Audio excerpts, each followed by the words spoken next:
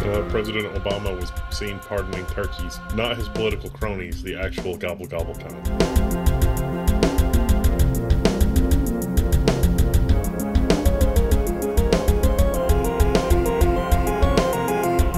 I don't know how I feel about this holiday. Hope you guys. Hope every time you take a bite, you you, you think of a Native American. I'm being mean already. we just got started. I'm already being mean. Let's just forget the holiday and, and talk about stuff, shall we? Let's talk about the news because there's there's not really a lot going on this week. No, it's kind of a slow week, so we're gonna have a a very fast, slow show. How's that sound? Uh, everyone wants to know who the winner of the um, GTX 670 Corsair mouse, keyboard, PSU, and the headset. And the winner was Gurn B2. I'm going to guess that your name is Gurn because I don't, I don't know what else it could be. Gurn B2. Why does everybody have such a hard to pronounce name? I was having trouble on Twitch the other day. It's just ridiculous. Anyway, he won the contest with us and uh, Linus Media Group. So congrats. And we announced this on Twitter, but in case you missed it, there it is. We've got another contest that I'm going to do right now. How about that? So it's the holidays, of course, and you're all going to be going over to your, you know, your friend's house, your grandparents' house, your uncle's house, your niece's house, whoever the hell you're going over to, and they're all going to have, you know, all their products lined up. Here's my broken laptop. Hey, the printer has not been working. What's wrong with it? Oh, it's not the USB's not plugged in. Well, what is that? What's a USB? Um, so you're going to have just a whole list of questions, and I want to hear the most horrifying family tech support stories. And what I'm going to do to make this a lot of fun is we're going to put a post in the forum, and I'm going to pick one person out of that, and I'm going to send them a K70 keyboard. Um, and again, I want to say one thing: it's not sponsored by Corsair. I just happen to have a bunch of these around because we're doing a mechanical uh, keyboard overview video that's coming very soon. But I'm going to hook one of you guys up with one of these because the audience is awesome, and I, I just kind of want to read some of these funny stories, and they better be real. I mean, if you make something up, you know, I'm going to know it. I'm going to see through your facade, your lies. Your lies will not get you a K70, but your genuine stories of ridiculous family stories, you know, like your, you know, your grandfather who accidentally changed his wallpaper to a bikini team and doesn't want to show his, you know, your grandmother the laptop, so he's been hiding it. And then you came over and he's like, "Can you please just change it?" And you right click and change it. That's what I want to hear. Stuff like that. Real stories. Must be real. I think that sounds like a fun contest. I'm playing back old memories in my head to myself, and I've quietly gone insane and now need to be committed. You're gonna. I'm, so, I'm sorry for any like nightmares that I induce, but uh, there'll probably be nightmares from real life anyway. I mean, does anybody like hanging out with their family? Is that like Is a it thing? like the time you found the iPhone in the fridge? Like, how did that even happen? Somebody must have been drunk. they said it makes the battery life longer. I was like, I need to recharge my phone. Let me just put it in the fridge. Because that makes sense.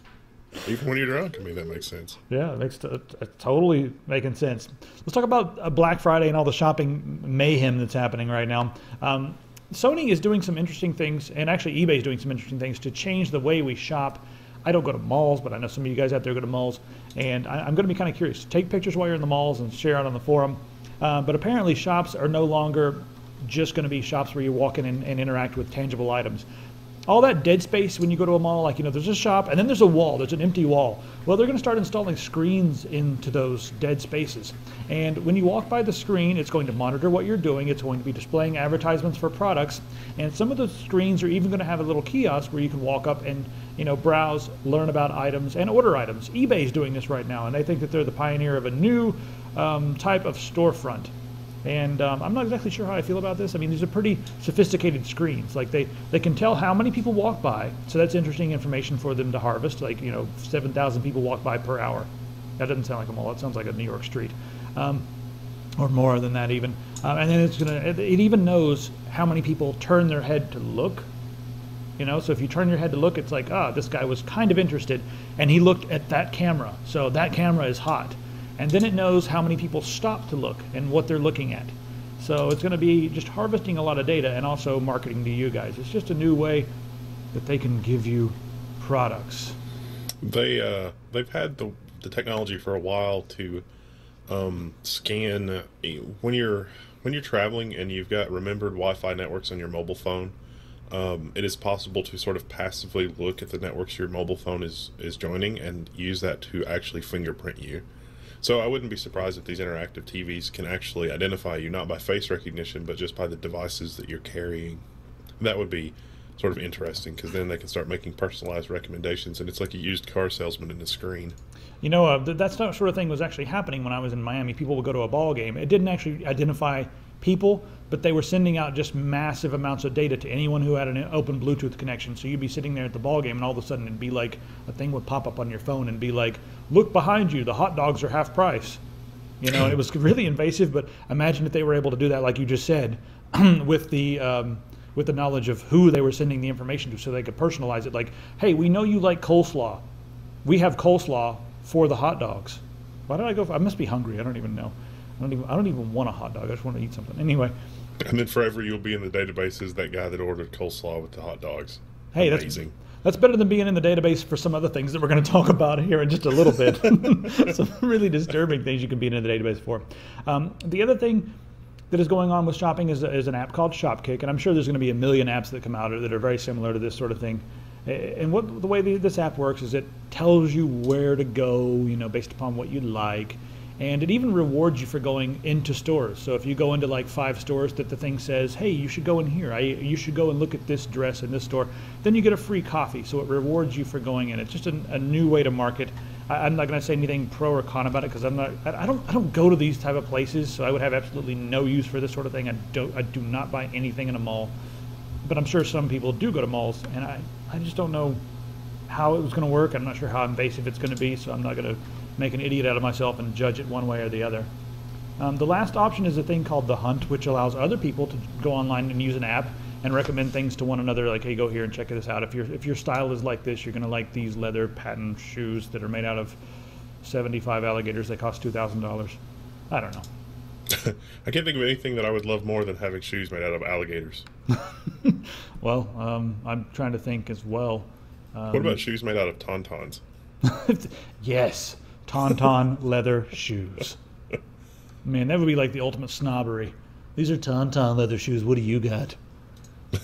mm, yeah, bunch of guys going to a bar and then just check out each other's shoes. That's the way it was in Williamsburg when I was up in New York. My friend was always like, "Let's go to a bar in Williamsburg." I'm like, "Why?" He's like, "None of the guys bother me. They're too busy judging each other's shoes." so this app is for you guys. You guys can share your uh, you know superior taste with each other and then argue about it. And what I, I don't even care anymore. I just want to talk about sales because it's Black Friday, and everyone's going to be going out and doing Black Friday, and it's on topic, so we have to talk about it. I guess I don't even know. I don't. It's moving right along. Yeah. Do you guys even care about Black Friday anymore? I'm like the point right now where I will pay an extra five dollars to buy it at a different day and not deal with all the nonsense that has to do with Black Friday. Hey, but trampling videos are awesome. uh, it's uh, I think it's like what is it? It's like Black Friday Deathclock.com or something, and it has the uh, injuries and deaths tally for all the Black Fridays going back like a decade. I kind of wanted to go out, and I didn't want to go inside. I wanted to get in the front of one of the stores like Walmart and stuff. And as soon as they open the doors, just run as hard as I can in the opposite direction and see how far I get. Just like through a sea of people. It would be like the the most violent mosh pit ever, like just complete mayhem. I don't condone it, but the videos that have like the guy that stands in line and then gets like the iPad or the iPhone or whatever and then smashes it in front of the people that are still waiting. I don't condone that, but those videos are really entertaining. Uh, a couple more funny articles, then we're going to get down to the to the meat and potatoes. This is just the celery. this isn't even, this is the swill. The this swill. is like the, the leftovers from after having made brown gravy. Some people love that stuff. It's like the best part. The chunks. it's not even. It's just like it's like the burned and it's like burned on one side and half cooked on another. It's just the skillet swill that's left. skillet swill. I think you just made a name for an indie band. Hi everybody, we're Skillet Swill. Are you ready to rock and roll? They're from Skids London. McGee and the Skillet Swill. Skids McGee and the Skillet Swill. I think we need to quit everything we're doing and just do that from now on. Mm, yeah. We could freelance in band names for the RIAA. I'm not sure how much they pay for that sort of thing, but uh, I'm sure I'm sure they keep most of the royalties.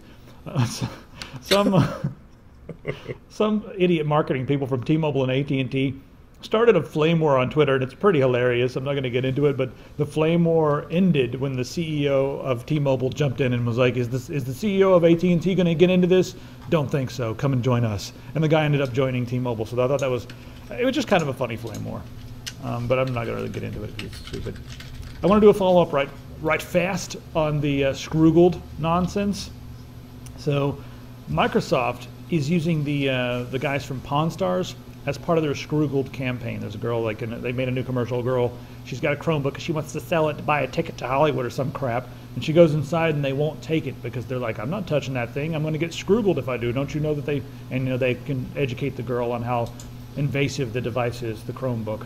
I think it's really interesting that Microsoft is spending so much money um, marketing against Google rather than innovating in their own way and then marketing their own products. I mean, a lot of their own product advertising that's been coming out recently, like their commercials and stuff, have been like people breakdancing. I don't, I don't care about people breakdancing. I know it's like cool to watch and it catches your eye.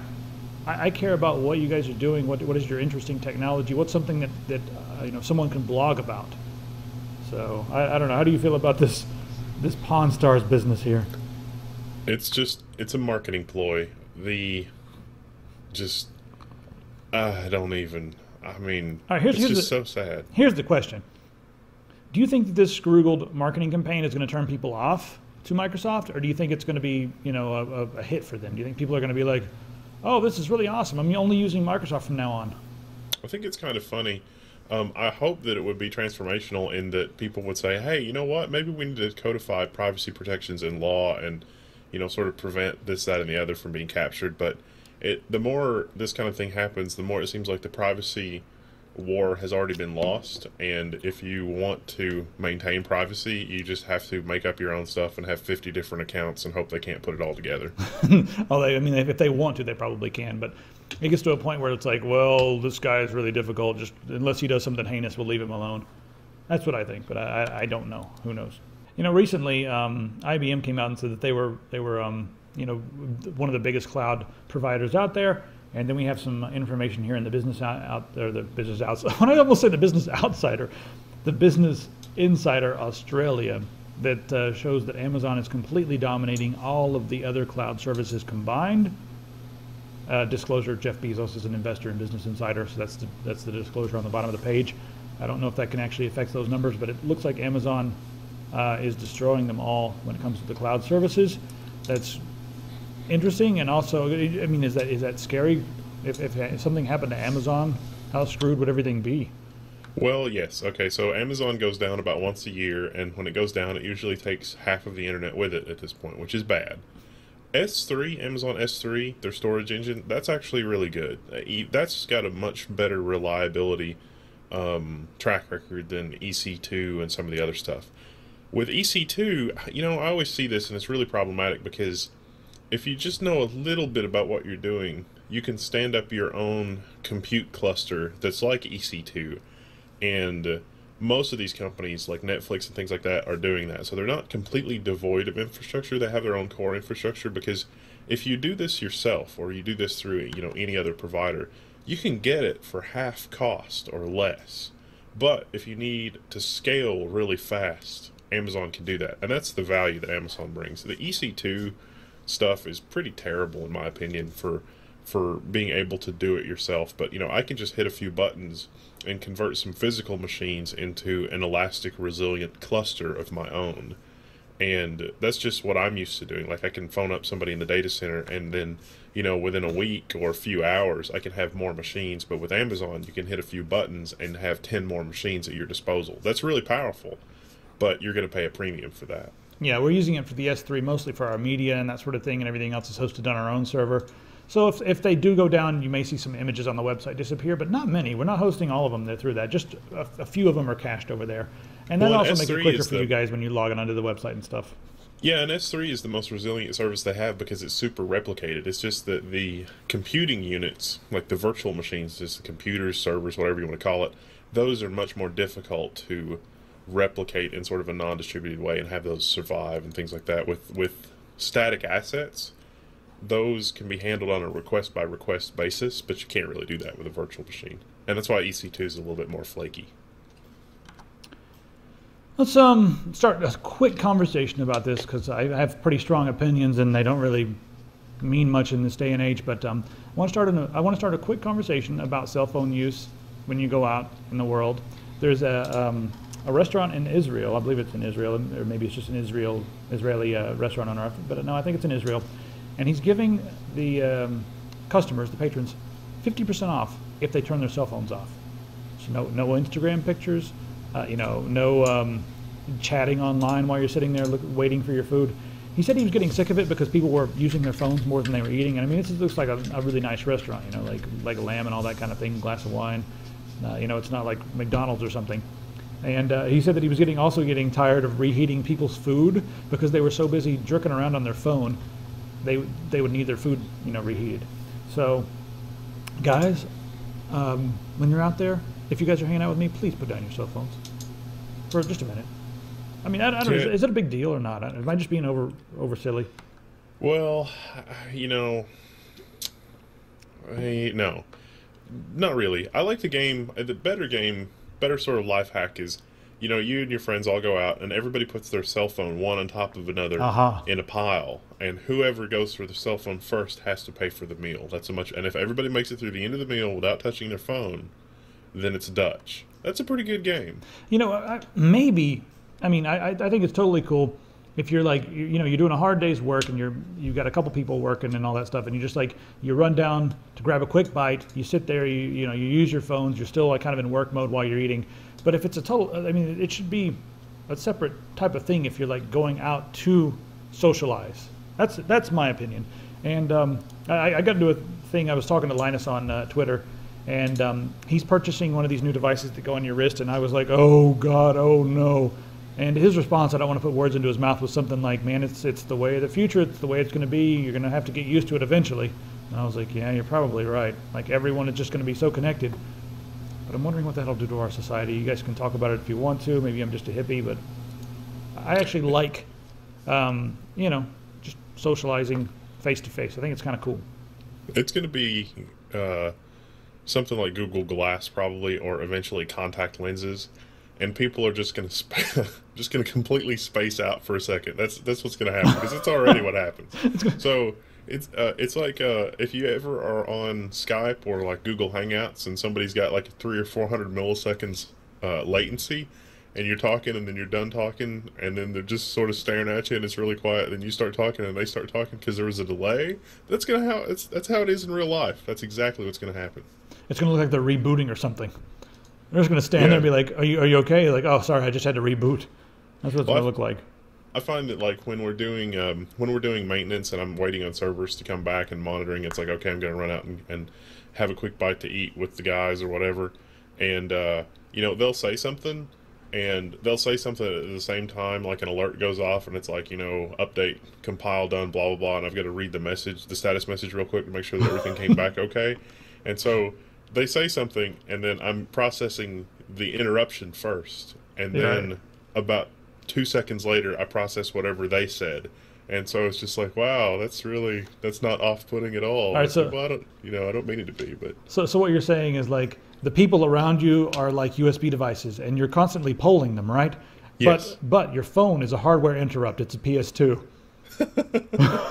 yeah, exactly. That's that that is sort of the situation that we're already in. And that's only the people that multitask well. The people that don't multitask well, you just get a blank stare and a huh.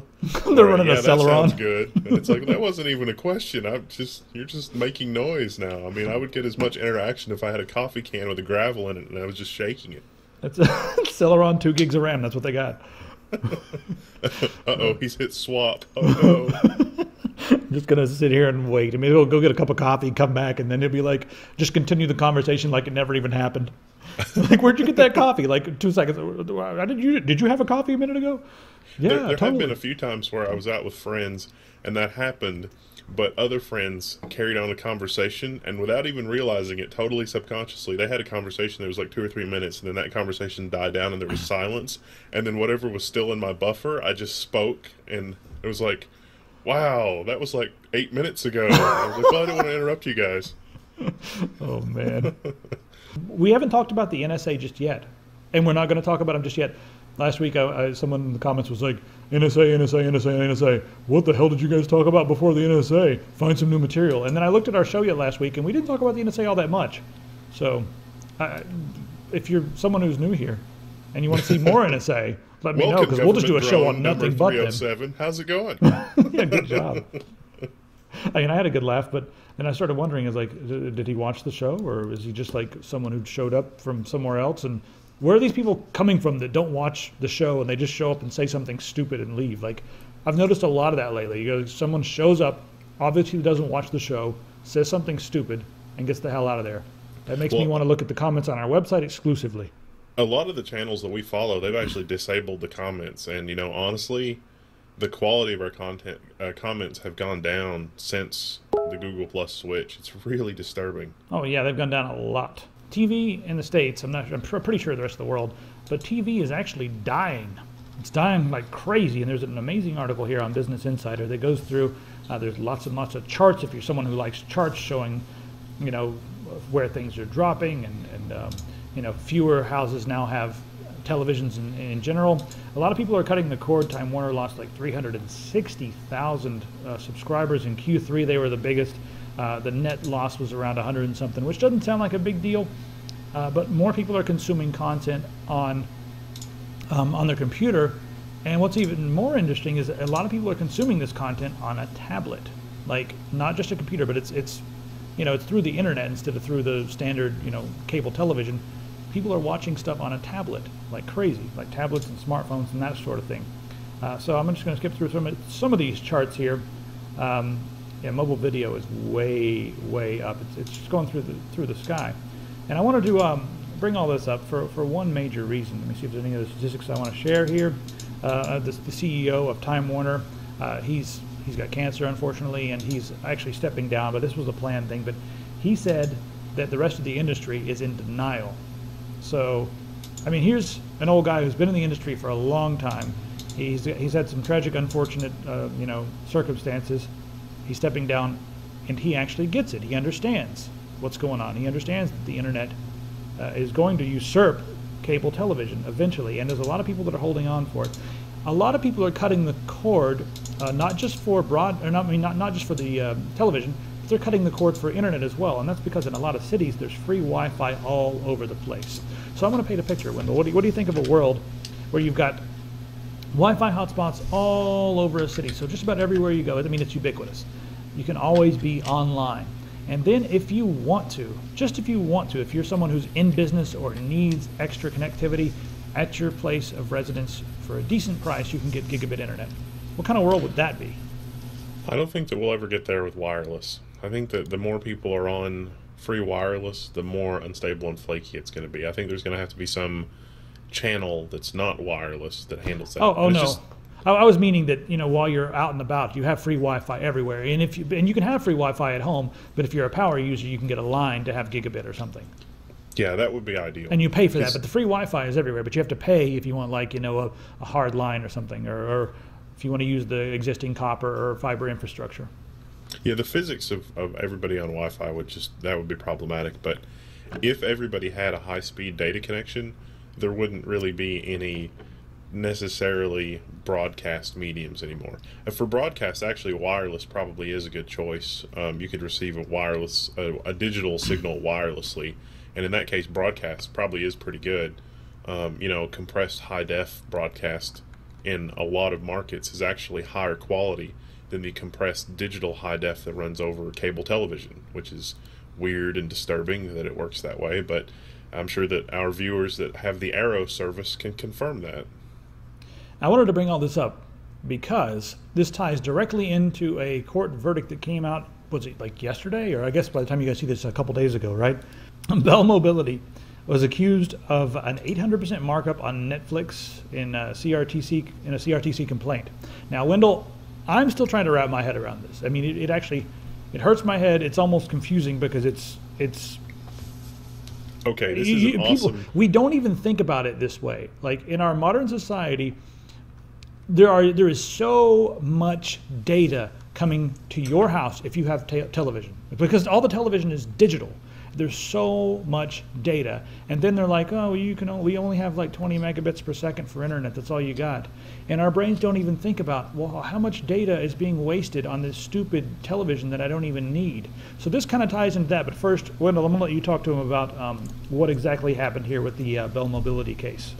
Okay, so it's rare that we have a situation where sort of the man behind the curtain can be seen. Because these these these companies and their press releases and their dealings with the press and things like that they are duplicitous and everything that they say is full of half truths and so this bell situation this bell mobility situation is awesome because the court has sort of pierced the curtain and really completely fully understood the situation. So the situation is that with bell mobility they have a mobile video television service where you can get your shows on the go now, this is not a broadcast service. This is like video on demand or pay per view or well, maybe not necessarily. Depending on it could be pay per view depending on your market, um, but it's not it's not broadcast. It is a service rendered unto you when you go through the mobile app or whatever on your phone and it uses data it can't not use data because there is no other mechanism to get that information the video information to your phone and so they were looking at it and they said, well, if you sign up for the service, it's like five dollars a month or whatever, and you can watch all these shows. And if you were to watch the same amount of shows in terms of minutes on Netflix, it's going to cost you 800% more in data charges. And so, data for data, the court is like, well, wait a minute. If it's coming from inside your network, you're only charging $5. But if you're coming if it's coming from outside your network, a Netflix or a third party um, that you would be competing with, then they're at a disadvantage. It's 800% more. And, and Bell's like, no, we totally need to be able to do that. This is exactly what what they're doing is exactly what Verizon has been arguing before the Supreme Court that they should be allowed to do. And in fact, with traffic shaping, you know, Comcast, Time Warner, uh, and other major ISPs are probably guilty of throttling and shaping Netflix and YouTube and other, you know, quote unquote high bandwidth things. But so this is in court a, a situation in the court saying, well, this is not fair or anti competitive and all these other things, and, and which is good, but there may not actually be anything in law to stop this. And that's what the court case with the FCC and Verizon is about, which is a different court case. Yeah, I mean, a lot of the problem here is the fact that these companies they not they're not only are they ISPs, but they also are content. Uh, they also manage content. They have content, they own content, and they serve content. So there's a real conflict of interest here, and there literally is nothing. There, I mean, there's, there's just, very little there's, regulation. There, there's no incentive for them to be honest about the situation in any way, shape, form, or fashion because if they're honest about the situation, it cripples how much they can abuse their monopoly to uh, interfere with um, with the consumer. And so it's like, look, you have to go through us and our services. It doesn't matter, you know. People on the internet can invent new business model and new services. You know, Netflix was a crazy new business model. They ought to be entitled to exploit their diligence in that sector. But instead, what you have is a situation with like Bell Mobility saying, yeah, Netflix, that's a good model. We own the network. We're going to take over your business for our customers because you can't get to our customers and we can. And so that that is textbook definition of uh, of uh, the abuse of the customer relationship that they already have, and they should not be allowed to do that under the law. Well, you know, the FCC told Verizon, "Hey, you guys cannot do this," and the the Verizon was like, "Screw you, we're going to sue." You know the government. So the, Verizon right now is in the middle of a lawsuit with the government, and it could have really, really bad implications for net neutrality in general. The way they see the internet is the same way like a publisher sees a newspaper. The publisher should have control of everything that goes into the newspaper, whether it's you know content written by one of their own editors, or it's a letter, it's a letter from somebody else, or whether it's an advertisement. They feel like they should be able to have control over everything in their newspaper slash you know their their internet, and that could be really bad for all small businesses on the internet. That could be really bad for anybody who, uh, you know, enjoys freedom on the internet in general. But if if they succeed, there's nothing to stop all the other ISPs, the major ISPs, because th- there's a lot of money in this. Comcast, you know, Time Warner, and everybody else is just going to follow suit and create their own, you know, version of the internet that's more like television than the internet, and that's a very scary thing. So, start calling your Congress people or something. I mean, uh, w- what the hell can we do about this, other than just sit back and watch it? An informed citizenry is really the best way to deal with this. Look at the situation, look at it objectively, pierce through the BS and understand it and decide for yourself is this a fair situation is this something that we want to allow commercially i mean i'm I, you know i'm as much a yay capitalism as the next person but this is clearly an abuse of the system Yeah. Do we want to tie this in and talk about um, the other secret things like the doxis? Maybe we should save that for. Well, well, I mean, if you do the back of the envelope calculation and you look at a digital, so it's like we got the analog channel spectrum. Well, if you've got to have a set-top box to get your digital channels, then you're you don't have an analog signal on the wire anymore, and the analog signal just has just crazy amounts of bandwidth. So if you do the back of the envelope and you look at like an RG6 cable, which is what carries the majority of the North American television system. If you just look at what that cable can carry and the DOCSIS specification, you're looking at like 7.2 gigabit for everything end to end. And 7.2 gigabit on the wire is absolutely insane, especially when you consider that, you know, most uh, you know, a fast cable connection in America is like 50 megabit.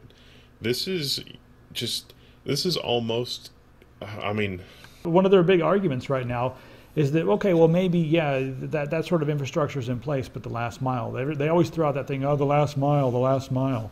but, But this is last It's mile it's coming to your house. Like all this information is coming to your house, so it's got us kind of scratching our heads lately, and we're not. I don't think we should get into too much more of that, unless because we'll probably get shot. My set top box is receiving like 200 channels digitally at once. That bandwidth could just as easily be internet or Netflix or anything. I mean, I'm, I don't have a television, so I'm not like a pro on this stuff. I mean, is it, is it actually receiving all those at once, or is it every time you change the channel, does it actually receive a new signal? I, I don't know how that works. I literally have not had a television since I was 15 years old. Yeah, no, it's uh they're broadcasting it, but they're broadcasting digitally.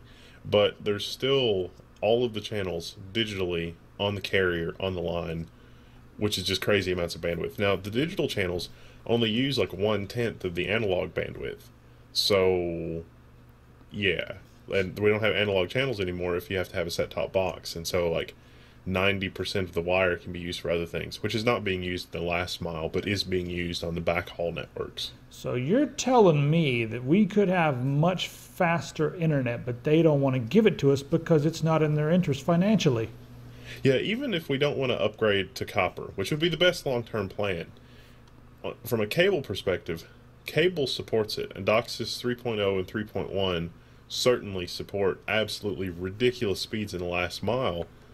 But for some reason, they don't want to give it to us, Yeah, and you they want to put data caps in, and because Netflix is the enemy, and you know, God forbid you get a 4K television. you, you said upgrade to copper. I think you meant to say upgrade to um, fiber. oh yeah, yeah. Because I mean, everyone in the comments will go we need to be. crazy and call you an idiot, even though you just misspoke. That's another thing I've noticed lately. Like one of us will miss misspeak or something, like you say the Fourth Amendment when you mean the second, but you but you intelligently know that you meant to say the other one. But someone will be like, "You guys are idiots." Like it's called misspeaking. My favorite one is when I say something's in the Constitution, but I actually mean the Bill of Rights because Yeah. I'm just a moron and that's just how it runs. But but you logically know, you just you just misspeak. So anyway, um, I'm gonna lighten up real quick, and I just want to um, point something out that's really funny right now in the uh, in the media. Every time a um, one of the uh, Tesla cars catches on fire, and there's been like five or six of them, right? Out of the, all the cars that have sold that have caught on fire because the battery hits a rock or gets hit by a you know a stick or something like that, it catches on fire. The media goes absolutely insane. There's videos about it all day long. They repeat the stuff on the news, and I just wanted to you know remind everyone that other cars do catch on fire too. For instance, the uh, 2013 Escape, the, it's an SUV from Ford. They're recalling the damn thing because it spontaneously combusts because there's a leak in the uh, fuel tank somewhere. And no one talks about that. You have you turned on Fox News and been like another, uh, you know, 2013 Escape has spontaneously combusted? No, you don't see that. But but they are having a recall for those right now. They're not recalling the Tesla. So I just wanted to you know, say that to everybody out there that there's not fair reporting going on when it comes to the Tesla. And I'm not sure why that is, but it seems a bit ridiculous. Moving on, that should have been an earlier article, but it was in the middle here and it was kind of fun to mention. All right, are you ready to talk about the NSA? Oh, oh, oh, yes. you had to get ready for it. Well, right. it's just like it's like what are they up to this week? And then it's like, oh yes, this is fun. Oh, this, is no, not- this one's a lot of fun because, because we can actually get into this for a minute because the latest uh, revelation from the Snowden leak and the Snowden documents and all that sort of thing is that the NSA has been spying on the porn browsing habits of several individuals, and they want to use that information to discredit them when they start to become radicalized. Well, I mean, you know, anything, anything to discredit your enemies. Shawn Turner, he's the Director of Public Affairs for National Intelligence, and he says without discussing uh, specific individuals, it should not be surprising that the U.S. government uses all of the lawful, that should be italicized, but it's not, all of the lawful tools at our disposal to impede the efforts of valid terrorist targets who seek to harm the nation and radicalize others to violence. And what's interesting here is there are like five or six people in the report from Snowden um, that this, you know, that, that they seem to be targeting uh, for this, and a lot of them look like they're not really terrorists, and some of them may even be inside the U.S. And one of them is uh, described as a U.S. person. So I mean, you know, the NSA saying like, oh no, no, these are all like. Uh, we, we, we believe most of these people are outside of the country. If you guys are the NSA, you should know if they're inside or outside of the country, number one. So your, your double talk is kind of ridiculous there. And number two, in your own reports, one of them is identified as a U.S. person. So why are you watching them? Are you trying to blackmail them? I've got an idea here that they could really bother some people and get them to do just about anything if they said, hey, we see that you're into midgets that use snakes as towels to whip each other in the butts. See, the, the problem I have with what you're saying is that it's like as if there are rules, but there are no rules. And uh, here, here's a really good example I'll give you. It's like they're visiting a foreign website, like they they're, they're the BBC.co.uk. Right. They're, they're they're they're on a foreign website. Well, that's grounds to spy on them because why would they go to a foreign website? That's crazy. You know, foreign website. You know, it's it's like somebody going to the border and then, you know, flying to London for the BBC. We need to scrutinize that. And the internet's global. I mean, it doesn't matter that you're on a foreign website most of the time. It's like, oh, we need to monitor the terrorist cell websites and blah blah blah. And it's like, but this this was this was the BBC. That doesn't even. You're not even being honest, guys. I mean, come on. Uh, where I guess that's how they, they make this legal is by saying that it's this foreign type thing. I, I don't I don't understand how it's legal, and then I also don't understand how people's porn habits have anything to do with terrorism and why they're allowed to collect that data. Um, I mean, it says right here they're just doing it to discredit people. So that sounds like blackmail to me. I mean, I know they could release it, release it to discredit someone who's already out there, but it sounds like they could use it for blackmail and that sort of thing. The problem that I have with this is that it goes very much against the sort of idealistic America. It's like we can show the rest of the world that we're better than them by leading by example. And this would not seem to be leading by example. This would seem to be the same old tired BS that everyone else is doing. You know, our, our whole like we're better than you is a very cowboy type thing. It's like I'm better than you, son, and if you don't like it, you're gonna get a missile up your butt. Well, it's like it's like I'm going to demonstrate how much better I am by leading by example. That is a good thing. That is something you can provide a role model that people can aspire to be. Yeah, But instead, we have people sifting through other people's porn, which just doesn't even make sense. I mean, we're Sounds like a hell of a day job. do- that, that's taxpayer dollars going to do that. That's just, I mean, really, is that what is that what? I mean, is that really necessary in this day and age? so that's pretty much. Is that all the NSA? Yeah, that's pretty much all of the NSA for today. yeah, just so you know, we wouldn't have pointed it out if it wasn't for you, asshole YouTube commenter.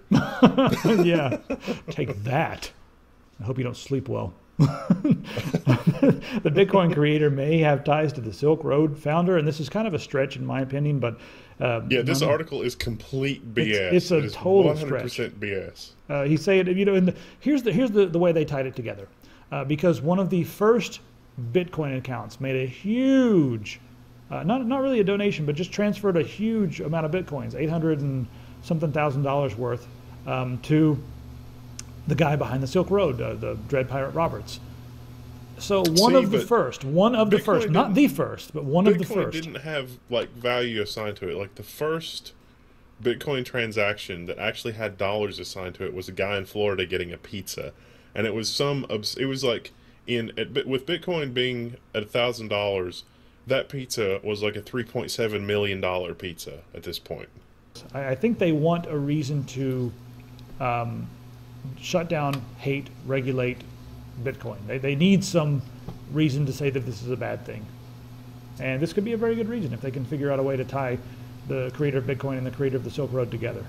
I don't know. The dude made $580 million from Silk Road, Dread Pirate Roberts. They, they've recovered like 118 million worth, but guy made a lot of money off of the I'll Silk be, Road. it'll be interesting to see how his court case plays out. Talk about hardware. The WD Black Squared. Are you going to get one of these? I would like to get one of these so that we can review them. It's a it's an SSD plus an HDD, and it's really neat. Okay, so Samsung, Samsung, Seagate. See, Okay, so Seagate did this a long time ago, but they only had like four or eight gigs of NAND, and they had a paper that said, you know, most people live in eight gigs, and eight gigs is fine. I, I don't really, I don't really necessarily uh, agree with that. I think this is a much better approach. Now, I've been messing around with, um, you know, we have a couple of Haswell boards, and uh, the mechanical drive caching, like the Intel 64 gigs of flash plus a mechanical hard drive, that actually for gaming and stuff like that, that actually performs really well. I'm really impressed with that technology. It's sort of a second or third generation of that type of SSD caching, and I played with the SSD caching early on, and it really wasn't that great. But this, in one package, if it's really good, if it's really well executed, because in my opinion, the Seagate thing was not as well executed as it could have been, this could be amazing. yeah, we should probably get one of these for a review. If anybody from Western Digital is watching, hello there. Guys in the comments, let us know if you'd like to see a review on one of these. It's pretty cool. Tweet at Western Digital and say, hey, get us a review sample. yeah, that'd be cool. Um, the the double by uh, Double Robotics. Have you seen this thing? Yes. There, there are actually a couple of telepresence robots on Kickstarter, and I'm kind of surprised that this one is getting all the buzz in the press and stuff. But it would be nice. I could get one. I could see myself with one of these. You know, I'm going to be a hippie again. I'm always worried that people are going to use this as an excuse not to go anywhere. Like, I'll just send double. Well, you, you guys are going to be at the art gallery. Yeah, I'll send double. I'll drink wine at home. You know? do you think it's actually going to be like that, or do you think it's going to be more of a thing like where, hey, I'm really sick today and I've got a massive meeting. Okay, I've got double. I think that double is going to be used to go to meetings that nobody wanted to go to in the first place. so you'll have like a whole boardroom full of doubles. Yep, But that that's way what I can- see happening. that way people can sit at home and half participate. Yep, exactly. Because they were only going to have to participate anyway. They were going to play on their phones or look at their smartwatch or whatever. Yeah, now they can go in their sweatpants instead of their fancy outfit and, and you know, half participate in comfort. I can't tell you how many meetings I've been in that that's taken like an hour of preparation and or more, and then you go in the meeting and there's only actually like 15 minutes of actual real things that are needed, and the other like 45 minutes or an hour is just completely pointless. The, you know, the consensus on Reddit was that this is one of the creepiest inventions ever, and I think that the presentation is is creepier than the actual invention. The guys take this in in their like little video here on Vimeo or whatever. They take this thing way too seriously, and they make it look like it, it becomes a surrogate living life for you. And I don't think that's how people are going to use this. If it is, then I think it is creepy. But I think this, I think it's just mainly the presentation that's creepy. But who knows? The Shimizu Corporation. They want to put a ring of solar panels on the moon. They want a lunar ring all around the moon. Um, 13,000 terawatts of continuous energy. That's what they would be streaming back to the Earth. That's pretty cool. Yeah, cool. the streaming back to the Earth thing scares me because I experienced this in SimCity. This was one of the future technologies in SimCity. And sometimes they would get where they were pointing the beam wrong, and then I would spend like an hour cleaning up the damage. It's going to be like the, the start of Call of Duty, you know, where they've got that beam weapon in outer space that America developed for some reason. Yeah. I don't think that this kind of thing is going to be necessary because the um, power consumption of doing stuff with the die shrinkage and shrinkage of lithography and things like that, and the cost of fabrication solar arrays has gone down so much, and power consumption has also gone down, that those two are going to cross, and we're going to be able to produce all the energy we need from solar probably in the next hundred years. Yeah, this The moon could totally be like military or fuel or base or whatever, though. I, it seems like you would lose a lot of power in the transfer and all that. Oh yeah, no, you, you completely would, but it's basically free energy, so it doesn't matter. Yeah. Uh, It's going to be useful that the moon is basically, you know, um, always in sunlight or whatever. Yeah, one side of it is, and if they put a ring around it, it's always going to be getting sunlight. Is it all? It's it's not always, unless it's like an, there's there's like an eclipse or something, but it's pretty much always in sunlight. All right, um, let's talk about video games, and we have a few funny things to talk about. Have you seen the Xbox Live has been warning people and banning people for cursing? I really enjoy the.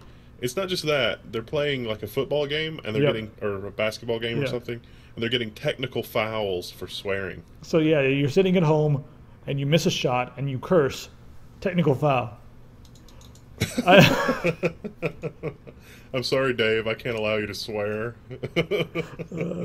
I mean, I'm all I'm all for like getting rid of some of the idiots on Xbox Live, but I don't know if the you know having the Xbox parent you is the solution. There's a this is the real world version of the Google Plus comments ver- conversion on YouTube. Here's um, on, on Reddit here. There's a um, here's one of the letters that someone got someone got from this. Your temper seems to be getting the better of you in recent matches. If you read in that voice, it's it's like all it's so much better. Please be aware that you are an ambassador for this football club, and the language you have used puts us all in a bad light. Please try and refrain from such colorful from using such colorful language in the future and control your overly aggressive nature. I'm sorry, Dave. I can't allow you to swear. That's just that's all I got. Because it's just, I'm glad I didn't buy an Xbox. God, I'm glad I'm on PC. I feel sorry for you guys out there buying Xboxes and that sort of thing. I don't know.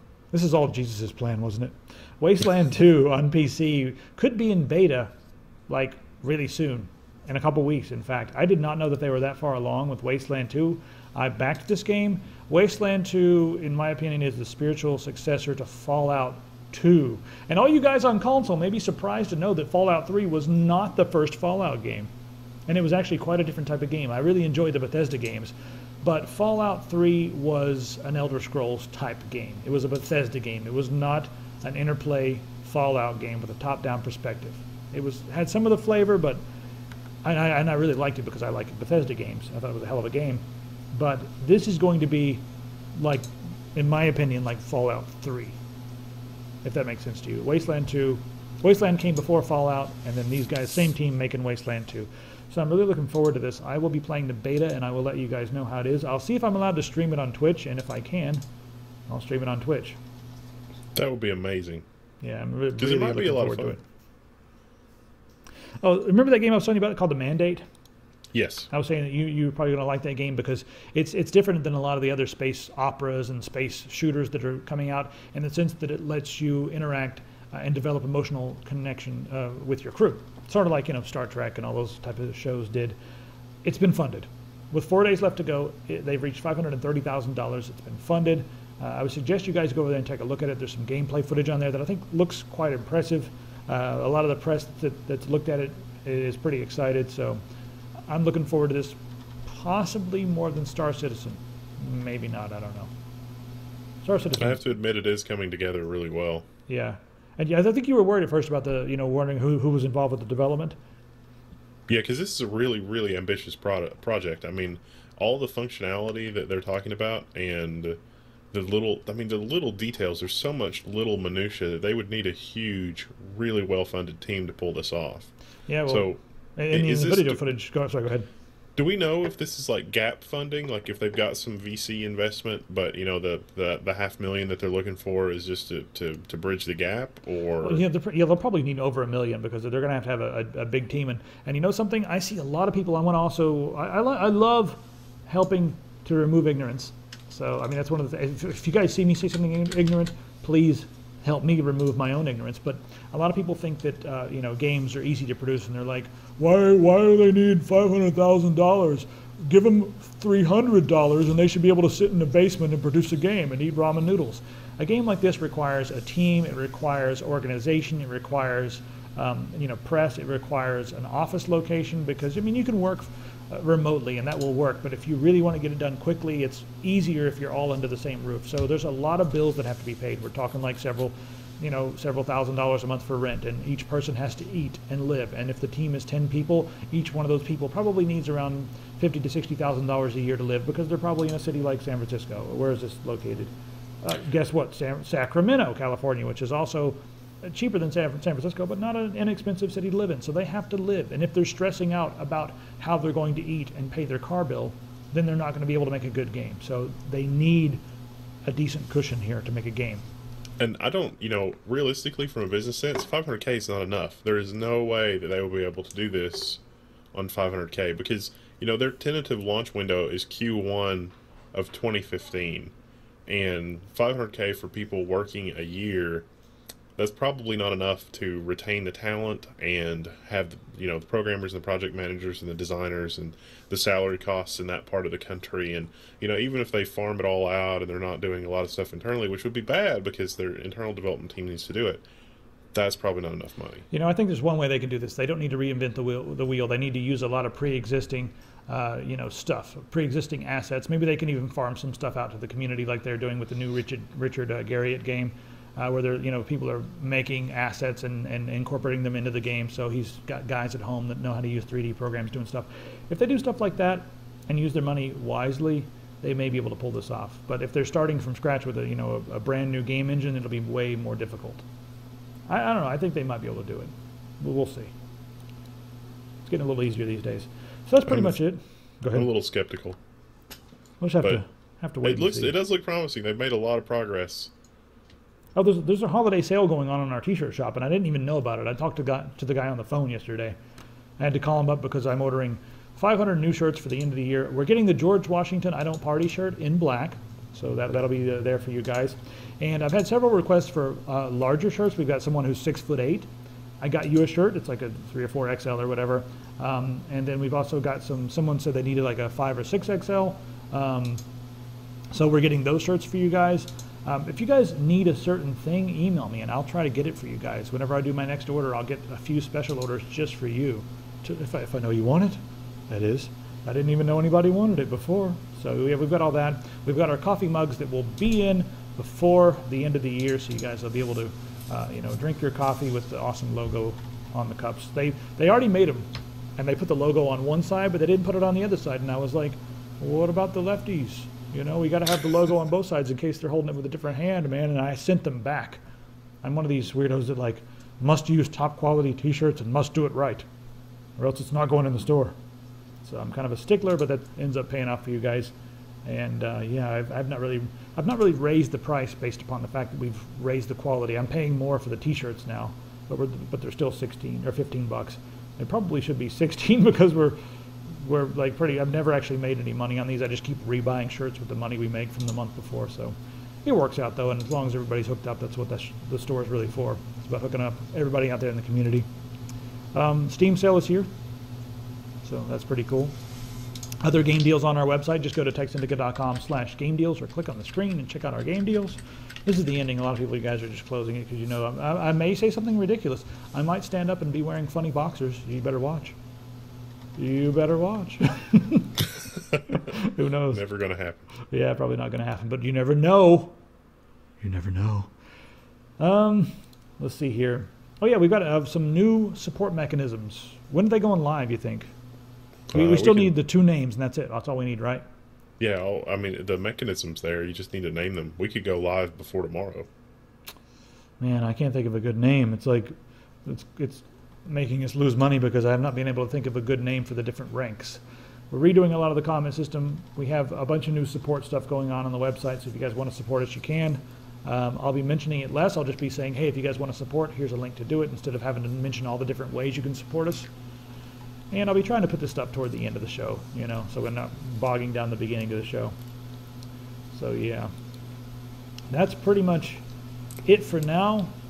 I hope you guys choke on your turkey, you Native American hating fools. I don't know why I have to personalize everything. I'm only one eighth Native American. I pretend like I'm like all upset about it, but I'm really not. I'm probably gonna have some good food tomorrow too. No turkey though. Are you having turkey tomorrow? Uh, any holiday that involves good food. I don't know if turkey's in my future, but good food will be in my future. Maybe a ham or something. I don't know. What, what do you What do you guys eat on Thanksgiving? It varies. yeah, I'm gonna have squash. Lots of I'm squash. going to try to make the Alton Brown apple pie thing. That's a good idea. I might make an apple tart. I don't know if I have enough. I don't have know if I have enough uh, flour to make a, a thing. So, yeah, you're joining us for food talk now. Oh, by the way, if you guys want more food videos, there's a separate channel for that, and I'm going to make sure that it doesn't take any time out of our regular video schedule. But you know, I have to cook. I cook a lot, and whenever I do cook, we're just going to hand hold the camera and do very few cuts, so that it only takes a few minutes to edit together. and then we'll put them up there. On, uh, but uh, the video, the cooking videos are so easy because there's no research involved really. I mean, there's some, but you just you just do it. You know, it's like, hey, let's do it. Grab the camera. We're gonna go make a cooking video. Do it live while I'm cooking. So well, it's gonna be on a different channel, so you guys can click on the screen and see that. The channel's called How to Live. It's not us showing you how to live. It's us figuring out how to live together with everybody else. Yeah, that's a stupid idea. We're gonna do it anyway. Some sitcom producer is going to contact you now. Probably is. It's, it's a good name, right? Yeah. Anyway, subscribe over there if you want. If not, do it anyway. yeah, you're- subscribe, share with your friends. We need to grow. Come on. Yeah. If you don't want to subscribe, go ahead and subscribe because you're just the type of person that we don't need in the comments. Someone that doesn't want to be here. There's apparently a lot of those around these days. Why did you? Go to the website, join, and say hello. Yeah, the, if you guys really want to be taken seriously, go over to the website because that's where I look at the comments. Uh, They're, it's like the same exact video on the, on YouTube versus our website. Our website has some really interesting, um, you know, discourse going on. YouTube is basically like fart noises and flame wars. So yeah, it's sad, but that's just the way it is. Thanks Google Plus. Good way to end. All right, we'll see you guys next time. Take care.